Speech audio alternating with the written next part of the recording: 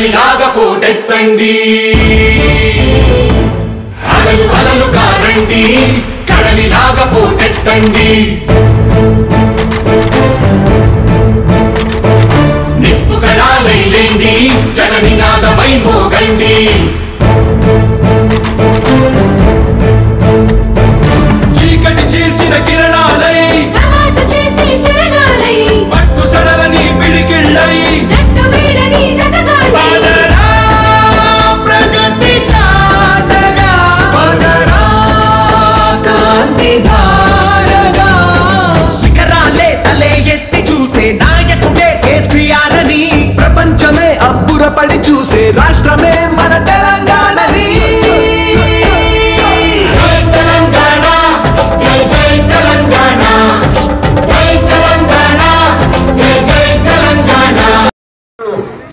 నాలుగు సంవత్సరాల నుంచి వారు వారి తర్వాత నేను మన ధర్మశాలలో అనేక పనులు చేయడం జరిగింది. ఆ పనుల జోలికి పోకుండా కొన్ని డిమాండ్లు కూడా ఇచ్చిన వాటి గురించి. అదేవిధంగా మరి ధర్మసాగర్ అందరిని ఉద్దేశించి పెద్దలు మన ఉప ముఖ్యమంత్రి కడియం శ్రీహర్ గారిని మాట్లాడాల్సిందిగా కోరుకుంటున్నాను.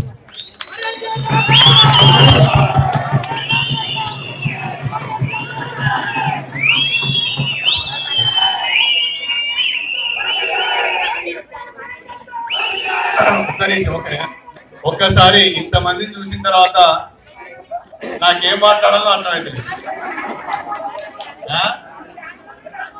అంతేరా ఓకే థ్యాంక్ యూ ఒక్కసారి అన్న ఆగే. కుడి చెయ్యి పిడికిలి బిగించి పైకెత్తి నేను జై తెలంగాణ అంటే మీరందరూ జై తెలంగాణ అనాలి. పాపం కుడి చేయి లేకపోతే ఎత్తకండి. కుడి చేయి ఉంటే ఎత్తండి. అందరూ అందరినీ చూస్తాను నేను ఇంకా కూర్చున్న కూడా చూస్తా. ఆ, ఒక్కసారి జై తెలంగాణ!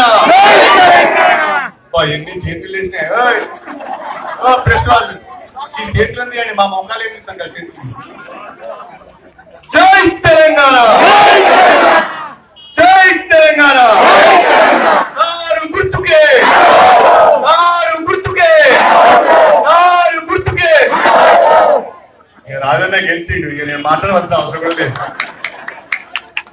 నేను వచ్చిన పని అయిపోయింది. ఈ ఓన ధర్మస్థానం బొమ్మంటే పోతాయి ఇక. డిసెంబర్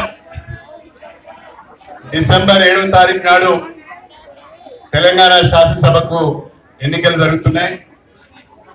ఆ ఎన్నికల ప్రచార కార్యక్రమంలో భాగంగా మన స్టేషన్ కంటే నియోజకవర్గ టిఆర్ఎస్ పార్టీ అభ్యర్థి డాక్టర్ రాజయ్య గారితో కలిసి ఈరోజు మీ గ్రామానికి రావడం జరిగింది.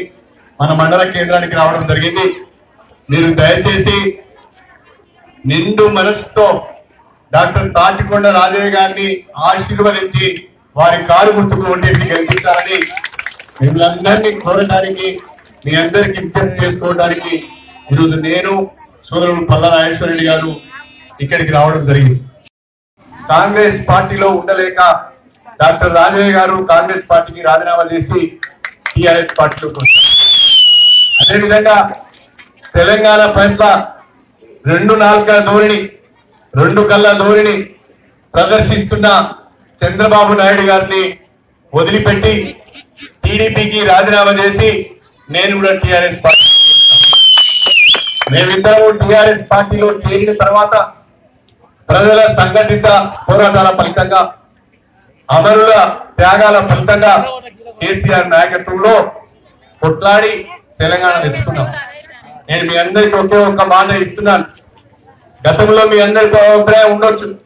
ఇవాళ రాజయ్య గారు గెలవాలని కాలుకు బల్బం కట్టుకొని తిరుగుతున్నారని చెప్పి మీ అందరికీ నేను టిఆర్ఎస్ పార్టీ అధ్యక్షులు కేసీఆర్ ఆదేశం మేరకు డాక్టర్ రాజయ్య గారు తప్పకుండా స్టేషన్ కన్పూర్ నియోజకవర్గం నుంచి గెలవాలి. మరొకసారి మన ముఖ్యమంత్రి ప్రియతమ నాయకులు కేసీఆర్ గారు తెలంగాణకు ముఖ్యమంత్రి కావాలనే ఒక ఆలోచనతో మనందరం కూడా కష్టపడి పనిచేయవలసిన అవసరం ఉందని చెప్పి ఈ సందర్భం గుర్తు చేస్తున్నాం. ఈరోజు వేదిక పైన ముగ్గురం ప్రజాప్రతినిధులు ఉన్నాం. స్టేషన్ కన్పూర్ నియోజకవర్గంలో రాజయ్య గారు గెలిస్తే ముగ్గురము మీకు అందుబాటులో ఉండి మా సమయాన్ని మా నిధులను ఈ నియోజకవర్గ అభివృద్ధి కొరకు వెచ్చిస్తామని చెప్పి సందర్భంగా తెలియజేసుకుంటున్నా.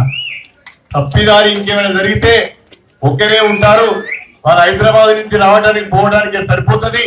మరి వారేమో హైదరాబాద్ వాళ్ళు రాజయ్య గారు ఎల్లప్పుడూ మనకు అందుబాటులో ఉండే వ్యక్తి అని చెప్పి మీ అందరికీ ఈ సందర్భంగా తెలియజేసుకుంటున్నాను ధర్మసాగర్ మండలంలో అనేక అభివృద్ధి కార్యక్రమాలు చేసుకున్నా. ఎన్నడూ కూడా పొరపాటు జరగకుండా ఏ రకమైన తప్పులు చేయకుండా మీకు మీ యొక్క పేరు మన నియోజకవర్గం పేరు కూడా రాష్ట్ర వ్యాప్తంగా పోయే విధంగా పనిచేశామే తప్ప తప్పు పని మాత్రం చేయలేదు. ఇవాళ ధర్మసాగర్ మండలానికి వస్తే నాకు చాలా సంతోషం అనిపిస్తుంది. ఈ ధర్మసాగర్ మండలంలో అక్కడ ఉన్న మండల కాంప్లెక్స్ చూస్తే ఓహో ఈ మండల కాంప్లెక్స్ నేనున్నప్పుడు నిర్మాణం చేసినా కదా అని ఒక సంతోషం అనిపిస్తుంది. ఇటు వెనుకకు పోతే ఆ ధర్మసాగర్ రిజర్వాయర్ చూస్తే ఓహో నేను నీటిపారుదల శాఖ మంత్రిగా ఉన్నప్పుడు ఈ ధర్మసాగర్ రిజర్వేయర్ తెచ్చిన కదా అని అనిపిస్తుంది. మరొకసారి ముందుకు పోతే ఆ గవర్నమెంట్ జూనియర్ కాలేజీని చూస్తే నేను విద్యాశాఖ మంత్రిగా ఉన్నప్పుడు ఇక్కడికి గవర్నమెంట్ జూనియర్ కాలేజ్ తీసుకొచ్చినా కదనే ఒక సంతోషం ఉంటుంది. ప్రజాప్రతినిధికి ఎప్పుడు కూడా నాలుగు పనులు చేసి ప్రజా మనుషులలో స్థిరస్థాయిగా ఉండాలనే బలమైన కోరిక ఉంటుంది. ఆ కోరిక మేరకే ఆకాంక్షల మేరకే నేను పనిచేశాను. రాజయ్య గారు కూడా పనిచేశారని చెప్పి మీ అందరికి సవినయంగా తెలియజేసుకుంటున్నాను.